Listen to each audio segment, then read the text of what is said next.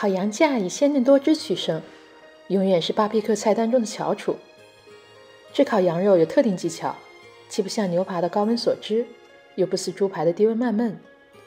只要你把温度时间拿捏得恰到好处，在家也能吃到西餐厅水平的大餐。我们今天就在家常的煤气巴比克烤炉上试试看吧。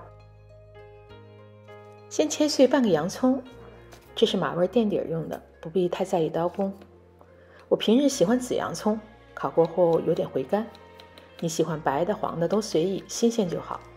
在洋葱上加一大勺橄榄油，再加一大勺生抽，增加底味儿。今天买的 Costco 澳洲羊架，感觉比新西兰小羊架肉味浓郁些，但没有那么嫩。把准备好的洋葱抓一抓，让调料浸润，然后均匀包裹羊架，两面都煨上。静置大约一小时，让葱油香给羊肉去腥提味儿。准备上烤炉之前，把羊架上的洋葱取掉，葱不要扔，这个一会儿还有用。用切肉刀把羊架切成一片片的羊扒。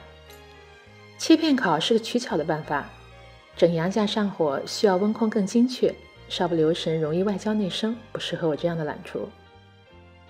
接着开始调味儿。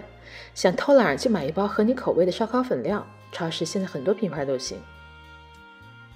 如果买不到或不喜欢成品，也可以自制个简易的，把花椒粉、辣椒粉、五香粉、孜然粉，再加盐和糖，按同等分量混合均匀，就可以当山寨烧烤料用啦。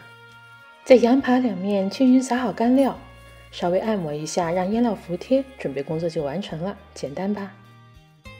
在我们开始腌肉时，已经打开了煤气烧烤炉，很快看到炉温已超过三百五十华氏度。拿出今日烧烤的秘密武器——硅胶烧烤垫儿。先把腌肉的带料汁洋葱铺在垫子上，然后把羊扒一根根均匀铺开。烧烤垫这两年比较时兴，主要是既帮助食材均匀受热，还阻挡油脂滴落，省得刷炉子。我喜欢尝试不同的厨房工具。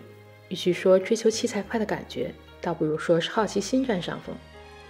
羊排都安置好以后，关上炉盖儿，看炉温已接近四百华氏度，也就是二百零五摄氏度。立即把火力调到最小，在不开盖情况下，尽量维持炉温不再升高。我的烧烤炉比较容易平衡在四百华氏度。各家烧烤炉脾气不同，你的炉子你做主，只要让炉温基本稳定就好。这样烤十分钟后。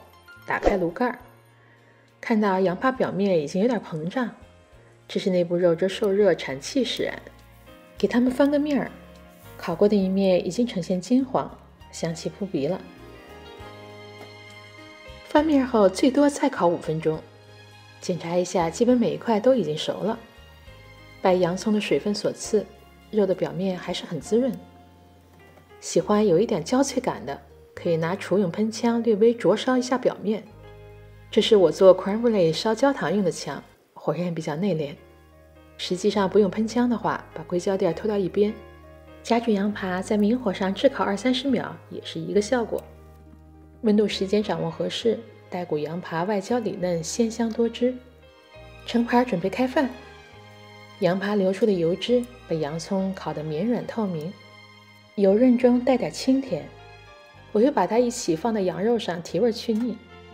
烤过肉的垫子上几乎没有焦糊痕迹，等凉下来水洗一下即可，不再头疼清理烧烤架上的油污，也不担心油脂滴落明火产生的焦化物不健康。点赞！看看成品吧。负责任的说，今天的羊排真的相当不错。在花园里安置好晚餐桌，一边吃饭一边煲剧，假装包场 dinner and movie。相比炭烤，煤气 BBQ 炉烧烤更为传统经典，是肉食爱好者的挚友。我们明天会继续在大 BBQ 炉上做慢火猪肋排和酱香烤蔬菜。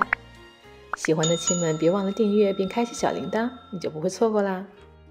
谢谢大家观看我的频道，豆豆还有很多私房美食，咱们下期再见吧。